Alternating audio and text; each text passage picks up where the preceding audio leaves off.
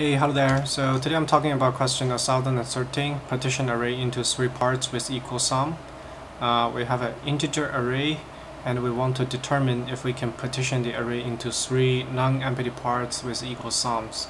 So formally this means that we need to find two uh, partition index i plus 1 and j such that uh, if we sum elements from 0 to i that's going to be equal to uh, if we sum i plus 1 to j minus 1 also equal to from j and all the way back.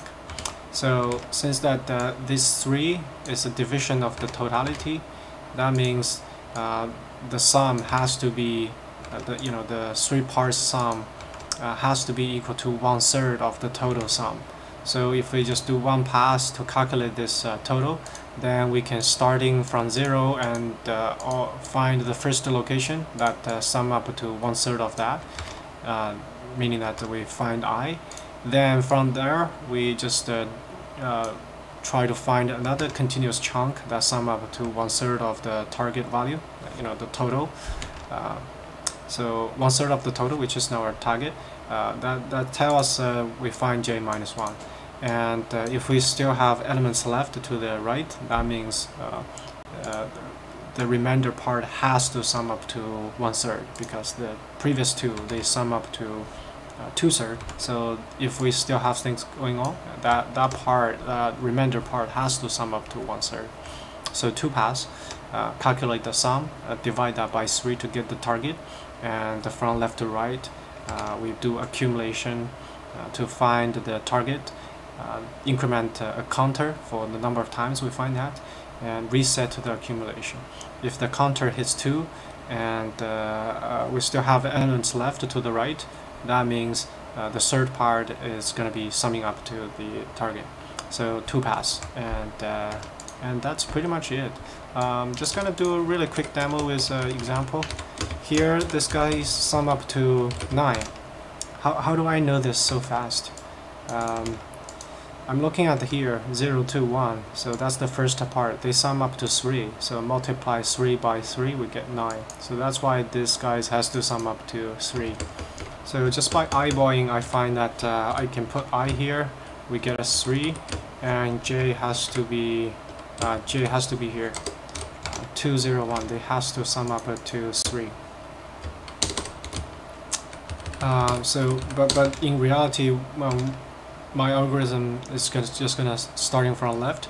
Uh, 0 to 1 they add up to 3 so I increment this counter by 1 uh, and then reset to 0 uh, negative 6 uh, and 6 positive 6 that go back to 0 negative 7 9 go back to 2 and I have a 1 there uh, that hits to 3 again. So once that hits 3 I can increment the counter uh, and uh, we, we do find we still have elements on the, on the right uh, so the remainder has to be equal to 3 I don't even need to look at this 201 I know that it has to sum up to 3 so at that point, uh, time point, um, when I, I'm actually at the J, I can return true. So yeah, so that's uh, a quick illustration about how this two-pass algorithm is going to work. So we get this total equal to this uh, sum, and the target value is just going to be this total divided by 3. And uh, we can actually check um, if the total is not a multiple um, of 3, we can return false. Because there is no way we can uh, partition this into three parts. Um, after that, we're just gonna in, uh, initialize a, a accumulator um, and also a counter. They, they are zero in the beginning and starting to iterate uh, over the numbers from left to right.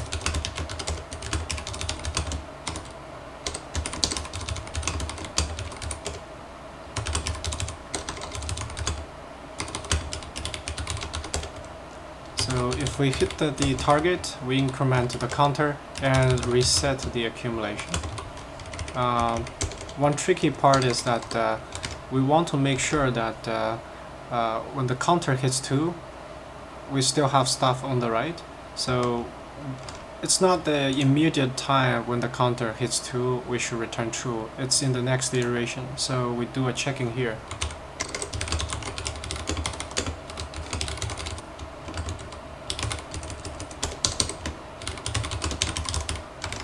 uh, the reason for this is that uh, uh, there could be case where when the counter hits 2 we are at the very last element in the array so there's no next iteration. There's no chance we have a third part.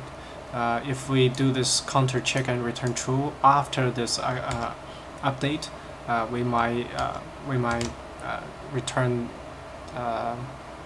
we might return true when we actually shouldn't. So that's uh, slightly tricky here. So that's the uh, code uh, to pass